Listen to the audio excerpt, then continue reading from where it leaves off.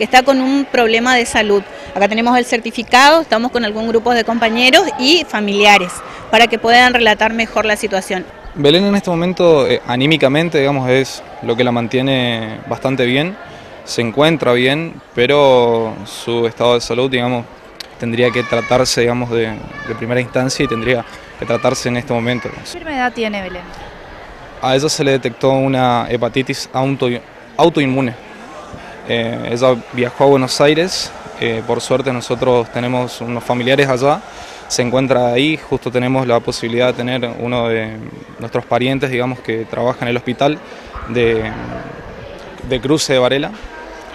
Y digamos, por intermedio de él, no, eh, Belén se maneja o se hace tratar con, con los médicos de ahí y más o menos ya se fueron hace dos semanas, casi tres semanas.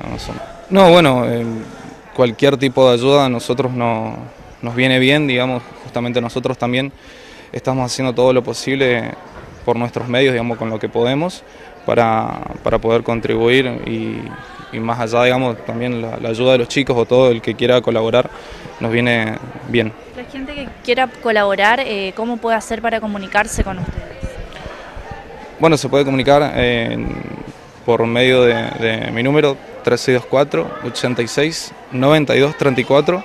el papá de Belén decidió traer al colegio esta alcancía y hace unos días mi compañera estuvo pasando curso por curso recolectando con lo más mínimo y la verdad que estuvo eh, muy buena la actitud de los chicos porque todos con lo más, incluso con lo más mínimo ayudaron y la verdad que en este momento eh, sea lo que sea ayuda porque eh, sabemos que estamos en una situación complicada, por eso lo más mínimo en lo que se pueda ayudar, nosotros lo, estamos haciendo. Así que cualquier cosa que nosotros podamos hacer, o si las personas se quieren acercar en el colegio, o personas del colegio están viendo la nota, le avisamos que también está esta alcancía en el colegio, que, donde estamos recolectando la, plata.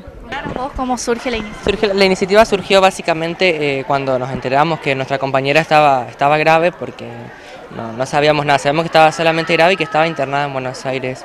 Y bueno, y cuando nos contaron lo que tenía y, en qué podíamos ayudarla, cuando dijeron que monetariamente podíamos ayudarla, eh, bueno, nos pusimos las pilas con, esto de la, alcancía y bueno, varios cursos también se pusieron las pilas, pusieron muchísima, muchísima ayuda, tanto los cursos como los profesores, como los chicos, este, y bueno, tenemos la, intención de seguir.